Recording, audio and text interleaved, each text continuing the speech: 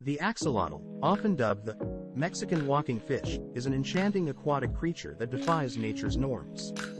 Found in the ancient waters of Xochimilco, Mexico, this salamander is unlike any other.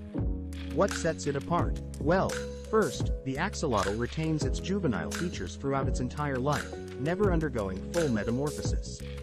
Their charming appearance includes frilly external gills and a perpetual smile.